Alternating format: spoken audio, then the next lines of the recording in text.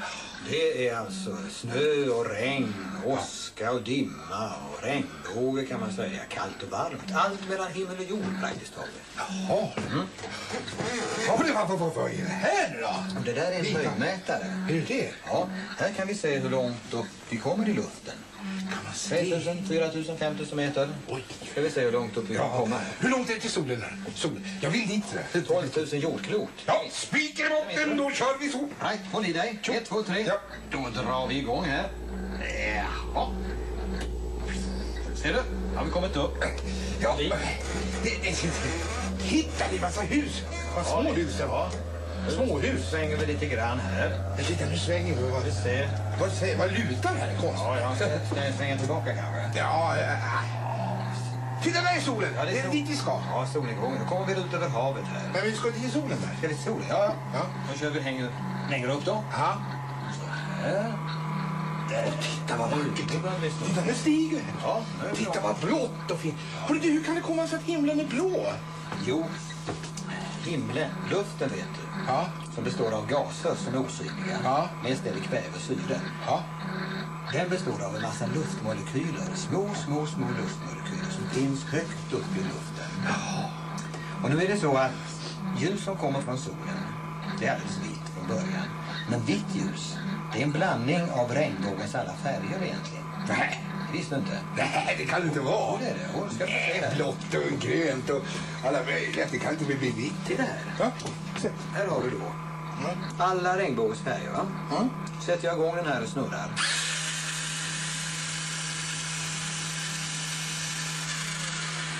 Då försvann. Ja, visst, det blir vitt ju.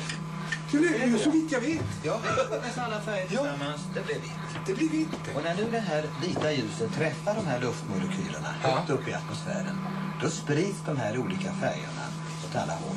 Och mest sprids den blåa färgen. Den sprids då ut över hela himlen. Det är därför himlen ser blå ut.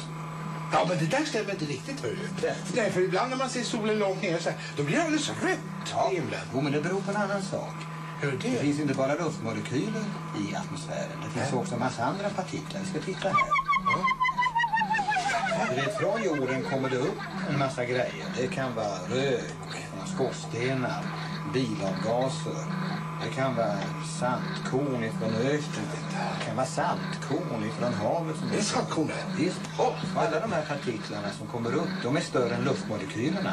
De sprider det röda ljuset mest. Gör de Och dessutom så har ju då ljusstrålen från solen mycket längre väg att gå genom atmosfären när den ligger vid horisonten än när den ligger rakt upp. Och de här två sakerna, alla de här partiklarna plus att ljusstrålen går längre väg genom atmosfären gör att det blir mest rött i väster. Därför blir solnedgångarna röda. Ska vi titta här hur solnedgången ser ut? Ja, det gör vi. Här har vi solen. Här Titta, där är solen. Och Vad nära vi är nu. Ja, ja, det är ganska högt uppe nu. Ja. 5000 meter, kanske vi kan komma lite högre upp också. Vi ska till solen, va? Vi det? Ja, ska vi uppåt. Kör vi lite till. Kör vi lite till. Ja, där. Titta, nu stiger vi. Nu är vi uppe till 6000 meter. Oj. Mer än så. Ja, Nej, men titta, det blir något fel på termometern här. var det? Du, den visar minus, minus 50 grader här. Minus 50. Ja, men det, det ska det göra här uppe. Det är inte möjligt. Vi, är ju när, vi kommer ju närmare och närmare solen. Då ska det bli varmare och varmare, säger sig själv. Ja, på sätt och vis. Men eftersom vi har den här luften runt om jorden så blir det faktiskt först kallare. Och sen när vi kommer högt upp, då blir det varmare igen. Det där ska jag förklara när vi kommer ner lite närmare. Nu har svart nu. Ja, ja. ja, nu har vi kommit så högt upp så att det inte finns någon luft kvar. Och Då kan det inte finnas några färger på himlen heller. Nej, och inga som, jag kan, inga som jag kan sälja glass till. Nej, nej. nej då åker vi härifrån. Jag, jag vill inte sälja glass till ingen här. Nej, nej, nej, Det finns inte en fiskmås i dig. Ja. Ett, två, tre. Nej, Där ja. Lite till. Ja. Ska vi se om vi kan komma ner så vi kan. Nu börjar det bli färg igen. titta, det börjar bli färg. Kommer vi ner i atmosfären igen. Titta vad skönt. Då kan man andas. Ja. Det finns ingen här som man kan sälja glass till. Nej, jag tror inte det. Ser ingen. Inte en fiskmås gång. Inte en fiskmås här heller. Ja, ja, vi fortsätter neråt då tycker jag. Titta! Här kommer staden fram. Ja. Här var det glass! Nej, det är ingen där. Jo, det är det. Det är en liten gubbe som går där. Ja, ja, nu har vi åkt upp och ner, upp och ner. Jaha. Så går det upp, så går det ner, så går det upp. Sen så går det ner, så går det upp, så går det ner. Och upp, så går det ner, så går det upp, så går det ner. Sen så går det upp, så går det ner igen. Så, ja. Nu har vi slutat. Ja, jag, jag, landar inte på vatten. Där. Nu går vi in. Så går vi in, så går vi in, så går vi in. Nu går vi in. Sen så går vi in. Hörru du, hörru du Thomas, jag tänkte fråga dig om en sak. Ja. Hur lång tid tar det för en solstråle från solen till jorden? Ja, du vet, en lång väg. Ja, det är väldigt långt. 12 000 jordklot ska det gå. Ja. Men det, det går snabbt. Det går på åtta minuter för en solstråle att komma från solen till jorden. Ja, ja, ja, ja, ja, ja. Och vad händer när den kommer till jorden då? Ja, det undrar Nu man ska vi titta här borta. Ska vi Då ska vi titta där borta. Ja. Du vet, runt jorden fanns ju luft. Ja. Här har vi solen. Klutten i... Jorden. Ja. Här har vi luften och atmosfären. Va? Ja. Här kommer då en solstråle. Oj. Efter åtta minuter så är den framme vid luften runt omkring jorden. Ja, ja.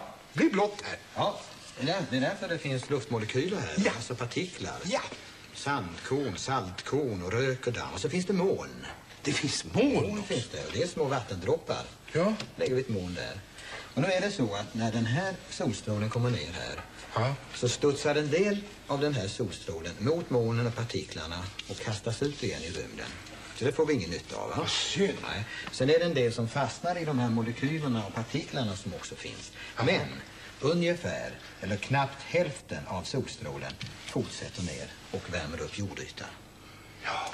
Så solstrålen kommer ner här, en del går upp igen, en del fastnar. Men nästan hälften går ner och värmer upp jordytan. Ja, ja, ja. Vad händer sen? Jo, jordytan är ju varm. Ja. Den kommer då också att värma upp luften underifrån. Här finns ju moln här också naturligtvis. Och en del av den här värmen som kommer upp ifrån jordytan, den smiter ut i rymden igen. Men en del studsar på de här molnen och partiklarna som finns och ner tillbaka till jordytan igen. Och så här kan det gå då flera gånger. Så att den värmen som kommer upp ifrån jorden, den blir i stort sett kvar här nere. Ja. Precis som ett växthus, du vet. Vad bra! Så det är väldigt viktigt här, va? Ja. Solstrålarna kommer, va? Ja. Solstrålarna kommer ner, går rakt genom luften och värmer upp jordytan. Och jordytan värmer upp luften underifrån. Precis som en kokplatta på en spis. Ja, ja, ja. Det är viktigt att komma ihåg. Ja, ja, ja. Det där, ja. Därför Ja. som det är kallare här uppe än där nere. Ja, ja, det var det. Det var, ja, ja. Bra. Ska du få en termometer? Titta. Du är så duktig. Vad Kan du bra. sätta den på glassmaskinen? Ja, det gör jag. Det, ute, det kan man ha ute i solen. Jag ser varmt Nej, nej, nej, ute. solen ska du inte sätta den. Varför inte det? Nej, du ska, måste ha en termometer i skuggan. I skuggan gör det väl ingen nytta? Då vet jag inte hur varmt det blir. Vad är det du vill mäta då? Hur varmt det är i luften? Ja, luftens temperatur vill du mäta. Ja, Ska du se här. Ja. Här har du då en termometer som sitter ute i luften. Ja. Vad händer? Jo, solstrålarna träffar termometern, Ja. värmer upp den. Men solstrålarna, de går ju också ner och värmer upp marken, va? Ah, Här, va? Och sen värmer då marken upp luften och termometern underifrån. Nu har du alltså här en termometer som både värms upp av solstrålarna och av jordytan underifrån. Ja. Medan luften som du vill mäta bara värms upp av jordytan underifrån. Så det är fel. Visst, du måste ta bort den här solstrålen naturligtvis. Ja. Om du sätter den då i skuggan så får du då en temperatur som bara mäter luften. Jaha, så klurigt. Ja, det är klurigt, ja. Ja. ja, men då kan jag sätta den här i skuggan då. Ja, det kan du göra. Ja. Ja. det är klart, är det mulet, då spelar det ingen roll var man sätter den. Men är det solet så måste du sätta den i skuggan. Ja. Vem är det som går rakt genom din fönsterruta utan att den går sönder? Fröken Kuling såklart. Nänemensan, den lilla solstrålen. Ja, Ja, det var bra att du kom. Hörru, du. Jag vill bli om min glassmaskin. Nej, nu vet jag det allting är om soligt och vackert väder. Hörru, Maja Kuling kan väl komma in, va? Ett litet slag. Jag kommer. Jo, jo, jag ska förklara för dig. Du vet att vi pratar om att ju mer luft som solstrålarna ska igenom i atmosfären, desto mer försvinner av solstrålarna i luftmolekyler och partiklar och moln och sånt där. Va? Just så därför, när solstrålarna nu kommer ner till jorden och först kommer ner till atmosfären så är det kortare väg för solstrålen att gå ner till mitten av jorden vid ekvatorn än uppe vid polerna där vägen blir längre eftersom jorden är rund. Ja, det blir längre. Just det. Och likaså eftersom jorden är rund så är det större yta som de här solstrålarna ska fördelas på vid polerna Ja. vid ekvatorn där det blir mer koncentrerat. Så därför är det varmare vid ekvatorn än vid polerna. Det är där jag ska stå med min glassmaskin då, ja. Just det, ja. Och vid polerna, vid Nordpolen och vid Sydpolen, där är det kallt och där är det is alltid. Så därför så får vi olika klimat här på Det är jorden. där vi får olika klimat. Här kommer jag med det absolut senaste i allvädersbranschen. Ja. Ett par tempererade fritidsskor. Rutan kallar jag det. Alltså, I den här skon lovar jag att fotsulan håller en jämn och behaglig temperatur. Inget fotsvett. Jo, och John, svart, det absorberar solen. Det blir varmt, det blir behagligt. Vitt å andra sidan reflekterar solens strålar. Ja. Och det gör att det blir svalt. Svart plus vitt, lagom. Stämmer det? Jo, det, det, jo, det stämmer. Men jag ska, nu ska Det är jag prata om klimat, vad är klimat? Ja, klimat, Klimat. klimat. Berätta. Klimat. Jo, här har jag en klimatkammare med de olika klimaten på jorden. Tropisk regnskog, ökenklimat, tempererat klimat, polarklimat. Polar och nu ska vi gå in här i den här klimatkammaren. Ja, det gör vi. Ska vi se. Här.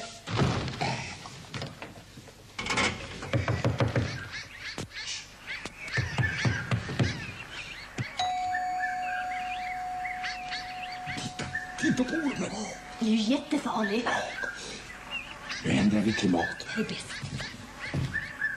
Det är bäst vi tar och kyler ner Polman lite. Gör det kvickt.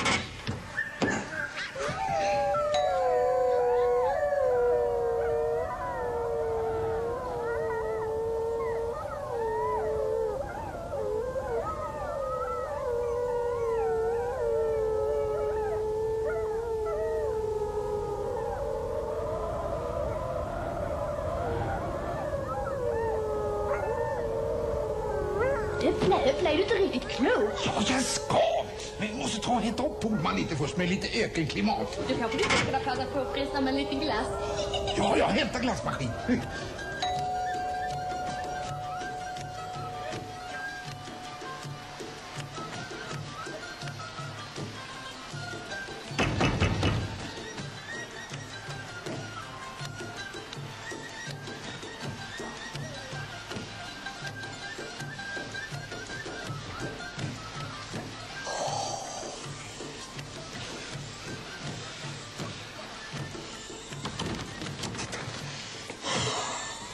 Jag, jag, är- jag är hemskt ledsen, men dörren gick i baklås förstår sig Poleman. Jag är så ledsen så...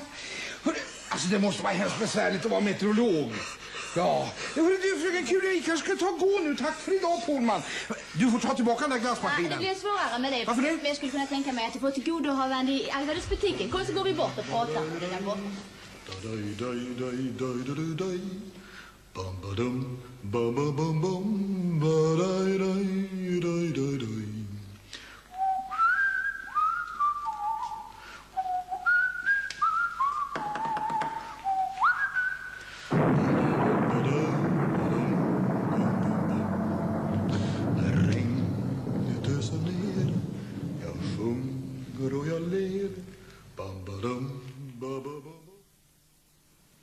Och vill du veta mer om allt som går under begreppet väderlek så finns i anslutning till de här programmen en bok som heter Polmans väderlek och som ser ut så här.